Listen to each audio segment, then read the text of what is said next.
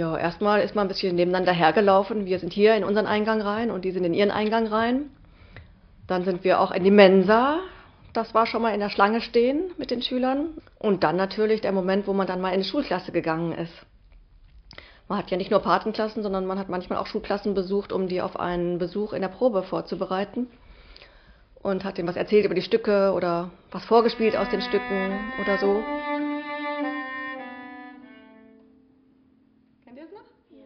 Es gab schon auch manchmal Beschwerden, wenn ich auf dem Schulhof war und jemand nicht gegrüßt hatte, nicht gemerkt hatte, dass wir uns eigentlich kannten.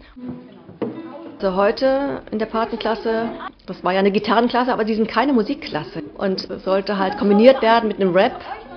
Das ist immer die Frage, als klassischer Musiker, soll man nur klassische Musik machen oder findet gerade die Begegnung statt, wo wir auch von unserer klassischen Musik ein bisschen wegkommen und in so einen Rap kommen? Also auch etwas zu improvisieren für mich auf dem Cello ist nicht mein täglich Brot. Und von daher finde ich es persönlich auch attraktiv, mit der Patenklasse etwas zu machen, wo ich mich von meinem gewöhnlichen Umfeld entferne und eigentlich denen entgegenkomme.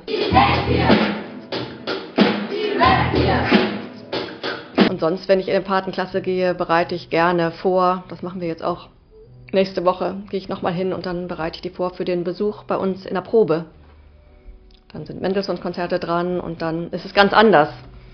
So war ich ja jetzt fast nur so ein bisschen Beiwerk, weil die Lehrerin sozusagen das Programm gemacht hat und ich habe einfach unterstützt und habe geholfen. Also meistens versuche ich das Cello irgendwie so hinzustellen, dass es überhaupt einigermaßen hält, dass sie sich vorne auf die Stuhlkante setzen und es nicht gerade mit dem Boden die Stuhlkante berührt, also dass es nicht verletzt wird, das Cello. Und den Bogen einfach in die Faust, wenn ich jetzt noch anfangen würde zu erklären, also den Daumen hier oder so, viel zu umständlich. Und dann vielleicht noch, dass sie nicht gerade hier streichen auf dem Griffbrett, so, und dann normalerweise lasse ich erstmal, probieren sie erstmal. Das ist sehr unterschiedlich. Ne? Manche haben oft schon einen ganz sonoren Klang und andere wollen gleich ganz forsch loslegen und andere wollen gleich hier greifen und wundern sich, dass es nicht gleich funktioniert. Und ja, manchmal stelle ich mich dann eben so nach hinten und spiele irgendein Lied, so dass sie trotzdem mit dabei sind, also das irgendwie fühlen, es vibriert ja auch, ne? man berührt ja das Cello hier.